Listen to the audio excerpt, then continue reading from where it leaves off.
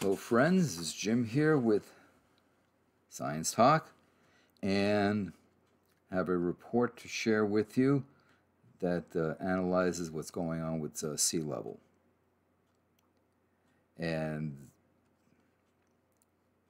some very sobering findings here. Now, most people live near a coastline somewhere, right? And basically, what this report now is saying is that sea level rise could be much greater than expected or predicted. Just like the melt rate for Greenland, Antarctica's, uh, and alpine glaciers are faster than predicted. So sea level rise, it appears, well, makes sense. If the the melt from the glaciers is going faster and they contribute to sea level rise, right? That it makes sense. It kind of goes hand in hand. Melt the the major ice sheets, it's going to go in the ocean. You know, water solid state here, water and liquid state here, right? So um, so that makes sense. And this, of course, is due to the fact that it's not a linear function, but an exponential function. And then you throw in positive feedback loops, and uh, you get what we're seeing, not just with uh, glacial melt, sea level rise, but air temperature, you know, crop yield, etc. Anything you can think of, result of manifestations of uh, climate change. So a team of scientists led by the University of Bristol in the UK has re-examined estimates of you know, the likely increases in the world's sea levels. And they're basically saying that the, their conclusion is that the figure could be higher than previous studies suggested. In an extreme case, you know, like to, sometimes you want to look at the two extremes and then use your statistical analyses to see where the 95% uh, confidence interval or 99% confidence interval uh, places you. They say sea level rise over the next 80 years could mean that by 2100, the oceans will have risen by around 2 meters, roughly twice the level like thought likely till now. In other words, you know, they thought 3 meters, excuse me, 1 meter, you know, around 6 feet is 2 meters, 3 feet is 1 meter, roughly. So then I was saying 2 meters instead of 1 meter. Okay.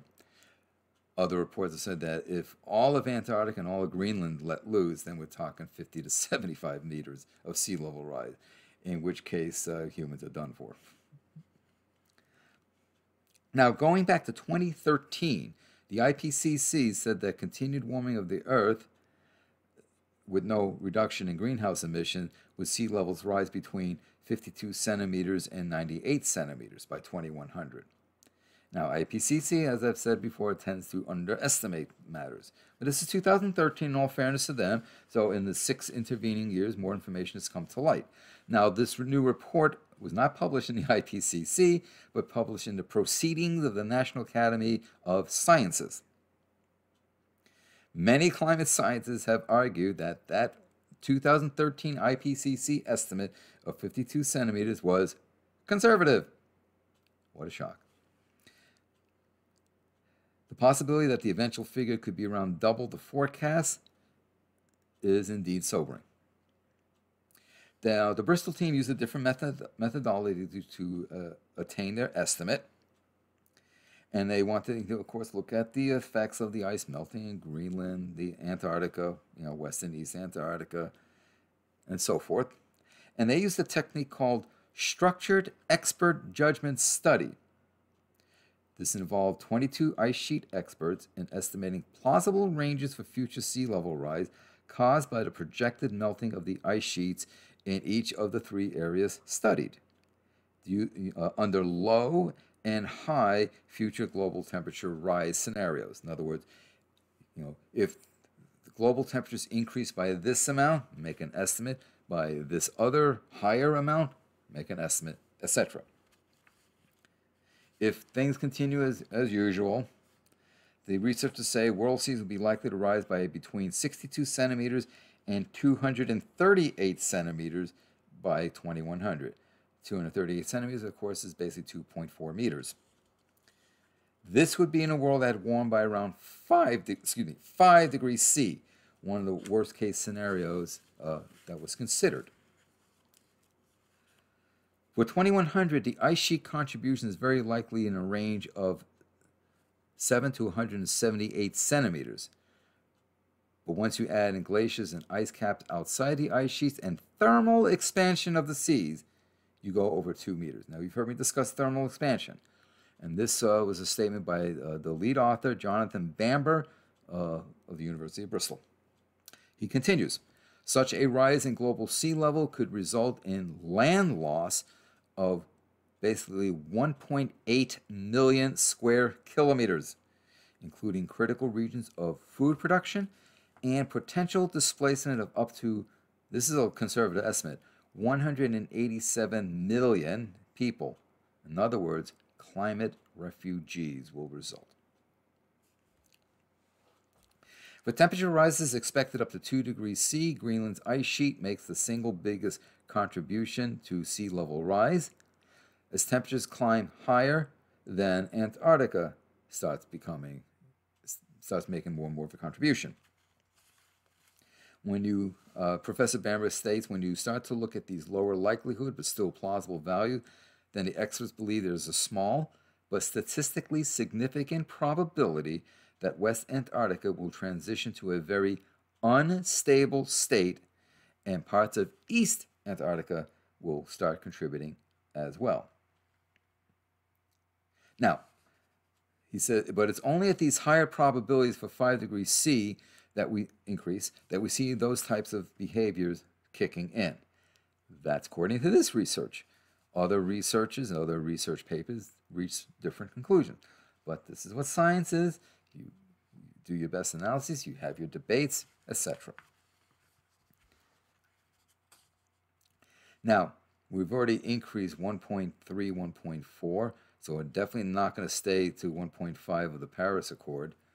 We're going to blow past that very soon, and we'll probably blow past 2 degrees C probably no later, if things continue as they are now, probably no later than 2040. So, will we see an increase to 5 degrees C by 2100? It's possible. What's the probability of that? Probably less than 0.5, but it's still possible. I think it's very likely, very high probability of seeing at least a 3 degrees C increase by 2100. Some models say 3 degrees C by 2050, and others say 4 degrees C by 2100. So a lot of these worst case scenarios may very well become the case. Globally important food growing areas such as the Nile Delta will be liable to vanish as the sea levels rise, just covering them, disappearing.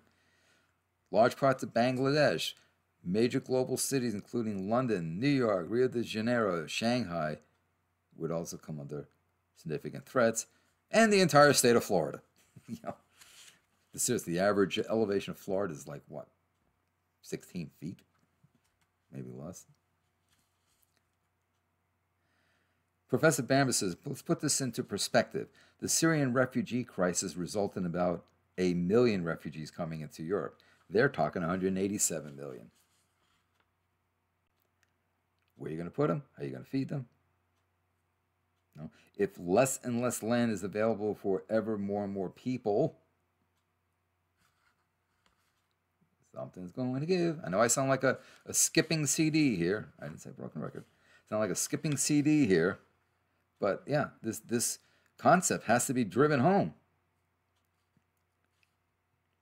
Now, polar science is making excellent advances in understanding what's happening to Greenland and Antarctica. We're getting great new data, and so allowing for you know, uh, better analyses. New satellite measurements are able to uh, tell us, there it is, this is the ice loss that's happening. It's happening faster than the models expected. And then there's the new hypothesis called the marine ice cliff instability hypothesis. And basically, this assumes that coastal ice cliffs can rapidly collapse after ice shelves disintegrate as a result of surface and subshelf melting caused by global warming. Subshelf melting, that's the warmer oceanic waters coming in and melting it from underneath. Now, the Bristol team uh, put the two meter rise at about uh, a 5% uh, chance of the sea level rise, but they do insist it should be taken seriously. Professor Bamber states, if I said to you that there was a 1 in 20 chance that if you crossed the road, you would be squashed, you wouldn't go near it. 5% is 1 in 20. Even a 1% probability means that a 1 in a 100 year flood is something that could happen in your lifetime. I think a 5% probability, cranky, gotta love the Brits, I think that's a serious risk. If we see something like that in the next 80 years, we are looking at social breakdown on scales that are pretty unimaginable. I just did a video segment recently about uh, you know that the possibility of human civilization may collapse by 2050. All these things coming home to roost makes this real possibility. Thank you for your time. Hey friends, this is Jim reminding you to subscribe and share my videos. Also, don't forget to click the bell so that you know when I drop a video in. And I'm also asking to for you to please support the work that I do by becoming a patron at patreon.com. Details in the description box below. Thank you for your continued support.